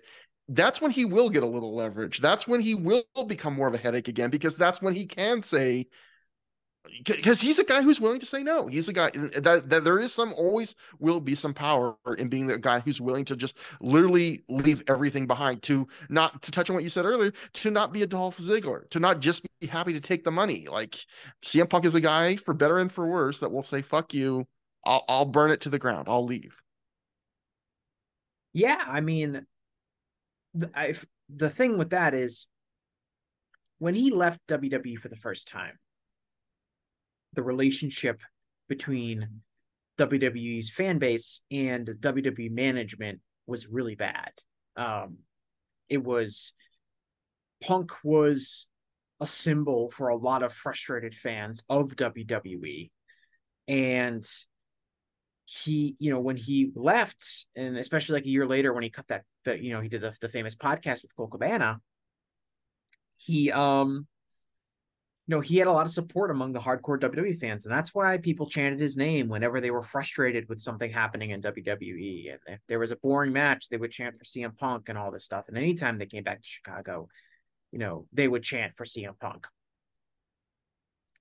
And now, so when he walked out that first time, it was like this huge black eye for WWE. And of course, they survived and they did fine and they made billions of dollars. So I don't think they'd be that worried either way. But when he did walk out, it was this black eye for WWE because it was a sign of someone who a lot of the fan base sympathized with basically being pushed out because of what he perceived to be incompetence, which was then transferred. That feeling was then transferred onto the fans who felt like the company was incompetent. Uh, right now, the the W fan base that they do have is way more uh, supportive of decisions WWE makes and enjoys, um, you know, pretty much anything the company produces as far as a live reaction. Uh, and if CM Punk were to walk out, they'd be WWE fans would probably just blame CM Punk, especially because this would be the third time he's walked out of a major promotion because he walked out of WWE the first time and then he's walked out of AEW. I know he was fired from both of those times, but people won't. I, I think he's he's burned the sympathy bridge, so there's less of a risk if he if he wants to walk away. Then I don't think it's going to hurt you nearly as much as it did certainly the first time if you're WWE, and probably not the the second if you second time if you're AEW. There's we we haven't seen a ton of we don't have a ton of data yet, but it doesn't necessarily seem like CM Punk walking out of AEW has significantly hurt AEW yet. Yeah, and you you just made a great point uh, too, which is a lot of CM Punk's identity has always been like he would say the voice of the voiceless, you know, being the guy who was championing the change hardcore fans want. He was always kind of the, the symbol of that, and to the point where he would be the name they chanted for years after he left. Whenever there was a show they didn't like, a piece of booking they didn't like, and yeah, I, that's another fascinating thing. If he came back to WWE, is that audience is gone. Like like you were saying, uh, AEW w- replaced CM Punk. Yeah, like I mean, in terms of like what was the symbol for WWE fan frustration? Like fans don't hijack WWE shows anymore. Over a period of years, WWE slowly and systematically ran off the kind of people that would hijack a show or chant CM Punk. Like almost every, the vast majority of WWE's audience now is true believers. They're people that, yeah, like you were saying, if, if CM Punk starts, they would they would take WWE side. There would he. I, I don't think you can do a CM Punk or Daniel Bryan style like insurrection among the fan base where enough of the fans kind of protest the company that you get this groundswell that kind of carries you through and convinces brass to change booking plans and things because yeah that WWE has finally created the audience they've always wanted which an audience which loves exactly what they're doing for the most part. I mean, I'm I'm sure I know I know there are some fans that don't like some aspect and they speak out about certain things. But for the most part, this is the most agreeable audience that promotion has ever had, and well, it, it, certainly not the punk the audience punk grew up with in WWE. Right, and you can look at like Sasha Banks, right? Sasha Banks essentially walks out of WWE last year. Very popular wrestler, one of the biggest stars in the company. How many times have you heard for Sasha Banks chants at WWE events yeah. since that happened? Um, yeah, so it's that, it's more like a shrug of disappointment. Like I'd like to have her back, but and if anything, it turns a little against the talent. It's like, well, she she's mm-hmm. too stuck up. She, I, I definitely saw tweets like, oh, she thinks she's too good for the prestigious WWE Women's Tag Team titles. Like, you know, like they'll, yeah. And, and again, it, I wonder if Punk that would be a culture shock for Punk, where it's like, that's not the world he came up in in WWE. There would have been out if Sasha Banks left during Punk's era, there would have been a giant shitstorm, the likes of which I would have been afraid for people's lives with the Sasha stance. They would have destroyed people, but yeah, not anymore. Yeah, it's just different. Uh, the last thing I kind of wanted to touch on was just kind of more CM Punk historically in terms of one of the fascinating aspects to me about this whole development is that wrestling history is littered with uh, very talented, successful wrestlers who were undermined by personal reasons. And a lot of the time, in fact, most of the time when we talk about that, we talk about uh like substance abuse issues and things like that that ultimately uh forced a wrestler to achieve less than they did. Uh and, and Punk is somebody who I think his career, as successful as it has been, uh, he hasn't achieved as much as he potentially could because of personal issues. But he's in the rare case where it's obviously not a substance abuse issue. It is, you know, uh, a paranoid issue and this seemingly pathological uh, need to to see enemies, to to spark conflict, to um, provoke other people, and just all of these things have unfortunately hurt his career and done things like what should have been a, a, slam dunk Wrestling Observer newsletter Hall of Fame case and has, has put that in doubt too. And he just seems like a really kind of unique case in wrestling history in terms of a major star that has been undermined not by by personal issues that um really he I guess people I don't say like people have less sympathy for that than like substance abuse issues, but seems like something he would have be able to have more control over. Um, it's it's tough. To, again, that would be psychoanalyst, psychoanalyst. Yeah, I don't uh, want even want to psychoanalyze. I'm just thinking he he really stands out in terms of wrestling history and somebody who's didn't achieve as much as he should have, and it's entire almost entirely because of like his own paranoia. Yeah, I, um, I've probably said this before because this is a thought I have, but I think Punk is fascinating in that sense, in that uh, he's I don't know if I've ever seen another wrestler where I am simultaneously surprised he had the kind of the level of career he had and also feel like he left so much on the table. Because there's part of me that feels like I can't believe he even made it this far because I was always a big CM Punk fan from like the days of the indies. But I always thought even back then he had this brash speaks his mind you know, some people love him, some people hate him reputation. He, you know, was not a juiced up guy with big muscles. He was covered with tattoos. He had a snarky attitude. Like I thought this guy, he's going to be hard pressed to ever really make it in WWE. And then when he did make it, I was like, all right, he's going to be hard pressed to ever rise to the level of a top star. And then he rose to like a world champion level, but still not like top two in the company level. And then he got to there. And so, like, in that sense, I feel like he did way more than I ever thought he would. But then on the other hand, this is a guy that left in his physical prime for years and years and years when he was about to be offered, you know, more major WrestleMania matches. You know, he left, he was the number, arguably the number two star in the biggest company in the world. He left in his prime. This is a guy that he came to AEW, the number two company in the world, years later, had one of the great feel good comebacks of modern wrestling, had all these opportunities, and again pissed them away in a lot of ways set them on fire. You know we like we were talking about before he could have potentially six months down the line even had that big feud with the elite. Who knows where that would have taken the company would have taken him. But it what i think it's one of those things where sometimes for some people the thing that gets you where you're going is also the the fuel that that like the fire that fuels you is the fire that burns you. Where I don't know if CM Punk would have made it if he wasn't an asshole and I also think he's, or just that's a that's a very generalized word calling him an asshole because uh, you know, again he's a complicated person, but I think the things that people hate about CM Punk are also the things people love about CM Punk, and I think it's the things I don't know if you can separate the parts of him that got him all his success with the parts of him that cost him even more success, and yeah, like like I meant, yeah, I I just we were i'll just end by saying we're I, I, don't know why we're picking on dolph ziggler but you used him before. He's such a great example. He is the polar opposite of the guy who is just happy to get along. And that's why we love him. But that guy also costs himself some opportunities. You know he's never been the guy that just bites his tongue and just lets things pass by for the larger win or for the safe bet. And he's living and dying by being that guy by being the anti dolph ziggler yeah, I mean, I, I mentioned I've mentioned a few times like paranoia and ego kind of being the driving forces, but those are the driving forces of a lot of very successful wrestlers and anyone in and very successful people in general, especially in the entertainment industry and especially in a competitive industry where being the best and being the top guy is something that you really have to, you know, strive for wholeheartedly if you're ever going to make it. Uh, you touched on something I think is really important that I hadn't thought about before and we talk about kind of like the different environment CM Punk came up in versus the AEW environment.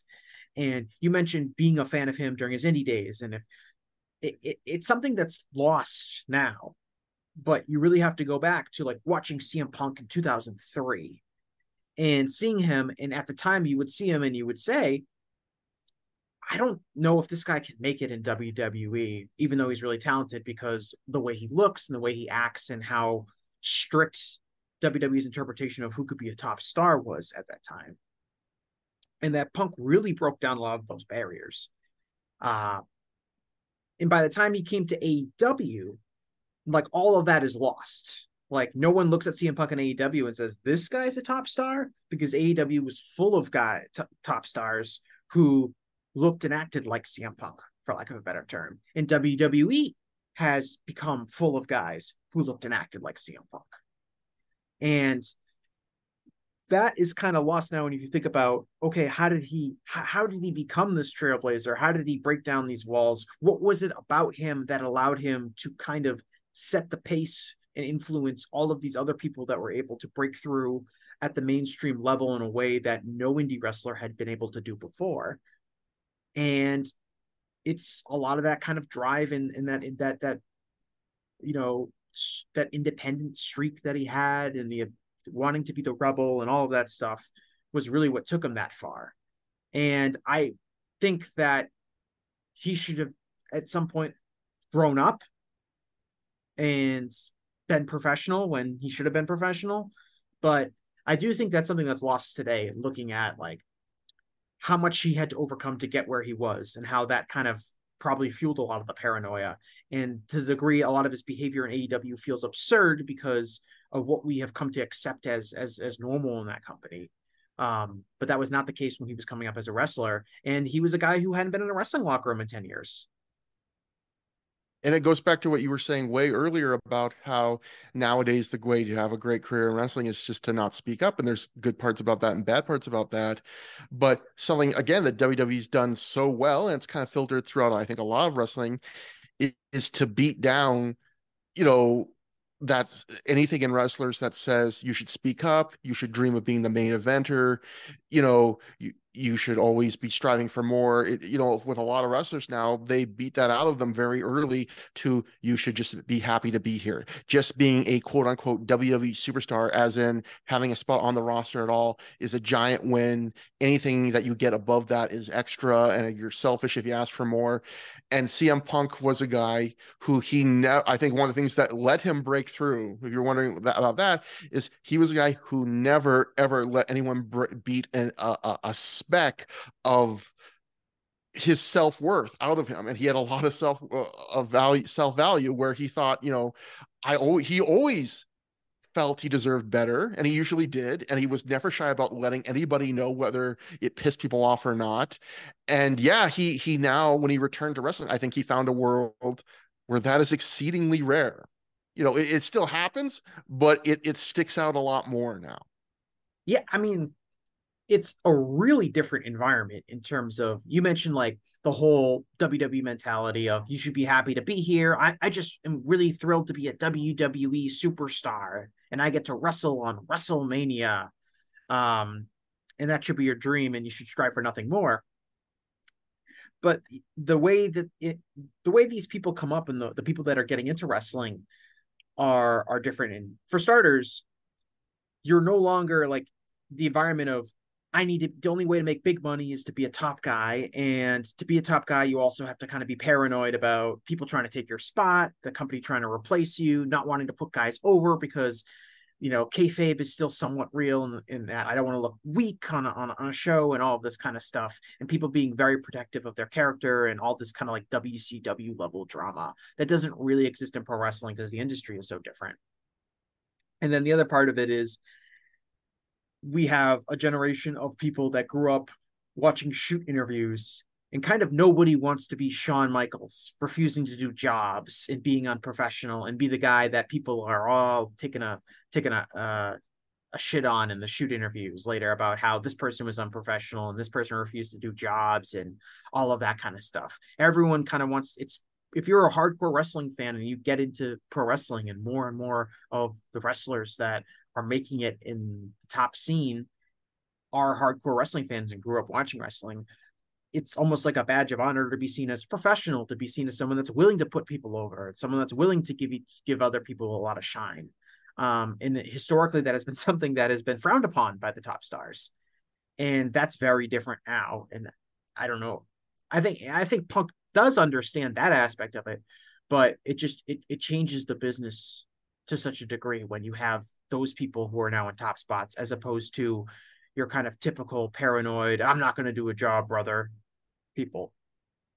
Yeah and also again just the ambition of like it, it, maybe he's thinking in a different world like wrestlers like the buck should be the thing that should overwhelm any personal animosity between mm-hmm. them is just the idea of you don't you want to be in the biggest possible angle but again wrestling has changed where when when CM Punk was around, he was a guy. His goal was to be in the main event of WrestleMania, a main event of WrestleMania. I feel like a lot of wrestlers nowadays they're brought up where their goal is simply to be on WrestleMania, any spot, any match. That's that's realizing the dream. For for him, he was of a, a guy and of a generation where no, the goal wasn't to be a star; it was to be the star. You wanted the very top spot. You want to be in the biggest angle. That was worth anything. You'd work with anybody. You'd do anything. And yeah, I, I think wrestlers nowadays are like, if I if I'm making a good living and I'm doing having a good enough career, that's I'm not going to sacrifice like working with a guy I hate or I don't trust or all this stuff to potentially get a little more of that. Like wrestlers are more happy with what they have now. Yeah, and I think your goals and your your true aspirations evolve as you get further along in your career. I don't know if CM Punk first laced up the pair of boots uh, for the first time and said, "My goal is to main event WrestleMania, and I'll never be satisfied unless I do that." But as he got closer and once he got established in WWE and emerged as a top star, that obviously became the goal for him. Um, like I remember in Chris Jericho's book saying like his first goal in wrestling was just to have a match. If he just had a match, he'd be happy. Once you have a match, you move on to your next goal, which is to have another match, and then it's to wrestle in this promotion, and then it's to make it to a big company, and then it it, it, it climbs and snowballs up and up as you get closer. And CM Punk got pretty much as close as anyone to having a main event at WrestleMania without actually having it. Um, and if he went back to WWE, he could, he could almost certainly have that. Yeah, especially because WrestleMania will be like five nights in a few years. Exactly. Like that's the that's the other ironic thing is he could probably have what he always wanted, but it means so much less now. How dare you say that, Trevor? I mean, there's two a year now, at least. And, Sami uh, Zayn main evented WrestleMania, and you can't take that away from him. I mean, it, it's still nice, but like, I mean, there's a reason he wanted that is because it was the one, like, he, from everything in the podcast and stuff, he always talked about how he was a very goal oriented person. And the one thing he had not accomplished in WWE was that symbol of being the absolute top guy. Like, let's face it, they, they had anointed him as the number two guy in the promotion behind John Cena. And he was never going to be put above John Cena, just like people are never going to be put above Roman Reigns no matter what right now. Yeah, but, I've got bad news like, for him if he's going back to WWE and that's still his goal. Yeah, I mean, the closest you could get, I, I, think he probably thought was if I main event WrestleMania with John Cena, at least for that night, even losing to him, I'm kind of the one B to his one A. And do you think it bothered him that the thing. Miz got that role? Yeah, yeah. I mean, and again, he he grew up. I mean, he grew up in an era where growing up watching WrestleMania, it was reserved generally in the era he was probably the biggest fan of for the top guys usually. So it was the last box that he didn't get to check. Yeah, I remember him saying in the Cabana podcast, like he suggested, like put me in in in the you know make it a three way between me, The Rock, and Cena, and I'll get pinned in five minutes, and you can do the rest of the match. Like I don't even care. I just wanted to be in that spot. Uh, yeah, he literally just wanted the historical significance of it. He didn't even care about like getting a shine from it or anything. This is kind of somewhat unrelated, but uh, someone mentioned it to me once. And do you think it bothers Punk at all that Punk was like this? His image in WWE in the last few years of his WWE and post WWE exit was always like, I'm the, the guy that's going to try to change the system. I'm going to make things better. I'm going to change wrestling forever um, and, and and show everyone that like WWE's way of doing things is is wrong. And the elite, his sworn enemies, were the people who really like successfully started uh, another wrestling company. Obviously, with the that's because of Tony Khan, but the the the popularity of non WWE wrestling was really launched uh, in this country again by the elites in New Japan Pro Wrestling coming in and Kenny Omega and Punk, you know, had to wait, you know, a year or two to see, oh, the coast is clear. It looks like this AEW thing's going to make it. Okay, now I'm on board. And that for all of the talk and bluster of CM Punk being this revolutionary figure in pro wrestling, and he is to a degree, the most revolutionary thing to happen in pro wrestling in the last 20 years is the creation of AEW. And that's largely because of the Young Bucks and Kenny Omega. And do you think it bothered Punk that those guys basically did lived his gimmick while he, you know, sat on the sideline and waited until it looked like it was safe to join and then came out? Uh, I'm not sure about that. I think one thing that probably would help mute that if I was him thinking, trying to put myself in his shoes and his mindset would be when he came to AEW, he gave them their biggest pay per view ever, their biggest like you know some of their biggest attendances, all that things. Obviously, not their biggest attendance now, unless you want to give it all the credit to CM Punk Samoa Joe. But like he gave them huge numbers over and above anything the elite had done. So he, I think, what however he feels, he can kind of comfort himself with the idea of, you know, I I took a, an, an important thing and I gave it like this extra jolt. And obviously that story now has a much more muddled ending. That's that's the one thing is his legacy now changes from I mean, that's the really fascinating thing actually when you think about from what we're talking about is his legacy has changed so much in recent years because it went from kind of the voice of disenfranchised fans for a generation to the point where WWE basically was able to move on and become more successful and kind of without having any more of those disenfranchised fans to this guy who I think when he came into AEW, the idea was he was going to be all right. To your point, I'm not one of the guys who started this really important competition thing that's kind of in some ways the next step of kind of some of my own ambitions but i'm going to be the guy that pushes it to the next level. And for a while, it seemed like he was writing that story for himself and the company. And now that story, now instead of that being a long term story, it's kind of just a blip. Like he came in, he popped business really big, things went horribly wrong. And right now, AEW, their ratings are fine, at least Dynamite is. Um, their attendances are not good, other than the record setting one they did in the UK you know, it, it, seems more like a blip on the radar. And I wondered if that would eat at him more than the Bucks did this, as much as all these things have transpired to now. The ch- if if my story ends right now, my story instead of being Punk like that cool rebel, Punk that guy who really changed things, it's more like Punk, a guy who was a star who alienated a lot of people.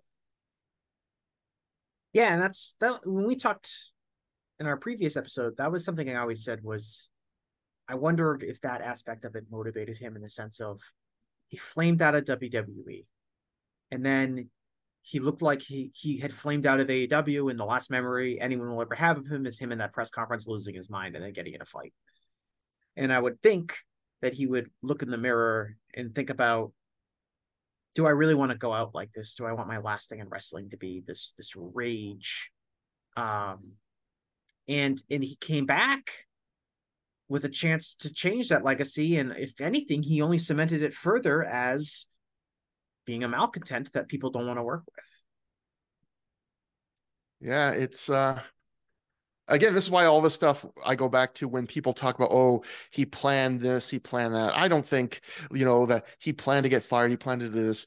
I don't think Punk crafted any of this for himself. I think all, the, I don't think he would have wanted his legacy to be in the place it currently is right now. I think, like we've kind of talked about, he just, he is who he is. And without thinking, he's reacted to things as they've happened. And it's left him where he is right now feel like it would make some people feel better if they think of this as, oh, this is just a crafted plan by CM Punk because he didn't want to work in the company anymore. Um, of course, pe- people. I mean, they say that's the thing about conspiracy theories, right? Like, there's a comfort in believing conspiracy theories because it's more comforting than believing that crazy things can just happen, that you have less control in life. It's comforting to think that someone meant everything that has happened to happen. You know, if you're a CM Punk fan, it's more comforting to think he didn't just blow this up because he got angry for nothing. He blew this up because there's a better opportunity. He's going to go back to WWE. It's all going to be great. It's already lined up for him, and maybe maybe it is. We don't know, but it doesn't feel like it's already been lined up for him. All right, I think that's that's gonna be it for for tonight's episode. Um, Trevor, do you have anything you'd like to plug? Yeah, um, I have my podcast through the years. That's T H R O H. We've covered basically everything CM Punk ever did in Ring of Honor, almost apart from like some minor pre-show things. But if I have a Patreon with a bunch of my rank, basically, if you want to look up all my stuff, if you just go to my tw- my Twitter at Trevor Dame, D A M as in mother E. Um, there's uh, if you go to the profile of my Twitter account, there's like a, a Linktree and it has links to everything the podcast, the Patreon, some a lot of my writing for free, everything. So that's your kind of that that's all the links you need for anything I've ever done. All right, that's great, and I appreciate you coming on the show. Uh, I hadn't, you know, I hadn't had an episode in a couple of weeks, and my kind of goal here is I don't really want to produce an episode unless I feel like I have strong content for for the listener. And I like to think people appreciate that because uh Trevor, you're a pretty anxious person. Uh do you ever have anxiety that you have too many podcasts to listen to? Uh yes, I I uh in the last year I finally reached that point where I have to accept I can't listen to everything. And it's really been bothering me actually because it used to be like, oh, I'll catch up, I'll catch up, I'll catch up. And I finally had to realize one day, like, I can't catch up with everything. Yes, you're just behind. It happens with like I'm behind on wrestling shows, I'm behind on TV shows that I'm supposed to be watching that I'm not. Um, but the idea is like if I could post this, I want to have some sort of consistency with when I post these episodes, but I also don't want to overwhelm the listener with just all of a sudden more episodes are coming out all of a sudden because I am someone that likes routine and I have basically listened to the same set of podcasts for the better part of five or 10 years. And they come out on the same days, and I kind of work my routine around. Okay, when I'm driving to work on Wednesday, I can listen to this. Um, and so I appreciate, I think, uh, uh not too much content coming out and overwhelming the uh, the listener. And yeah. Uh, competition, of course, in this space is, is very fierce. But, uh, well, I, I, I'm glad I could help you get another episode out. I'm sorry that I could not help you with the quality content part. Yeah, but you know we'll work around that. That's fine. Yeah, um, okay. Um, there'll be a lot of edits to this. Yeah, it was uh, actually a five-hour record. Yes, yes. Um, all right. Well, thanks a lot, Trevor, and thanks a lot to all my listeners. And I'll talk to everyone again in a while. Cheering at pro wrestling shows in Japan is back, and 2023 is already shaping up to be a big year in the history of pro res. That's why you should listen to the Emerald Flow Show. From the Royal Road to the Green Mat, Paul and Gerard take you into the world of All Japan Pro Wrestling and Pro Wrestling Noah. Not only do we analyze events, but we examine business, who is getting over, what angles are working or not. Occasionally, we take a look at other Japanese promotions like DDT and Zero One. So if you're looking for more coverage of the world of Japanese wrestling, check out the Emerald Flow Show on the Voices of Wrestling Podcast Network, available on all of your favorite podcast apps. Hi, I'm Case Lowe, co host of the Open the Voice Gate podcast. The one question I'm constantly asked when it comes to Dragon Gate is how do I get into the promotion? Well, stop asking and start listening to the Open the Voice Gate podcast released every Wednesday on the Voices of Wrestling Podcasting Network. For exclusive news and show reviews, look no further than the leader in Dragon Gate coverage, Open the Voice Gate.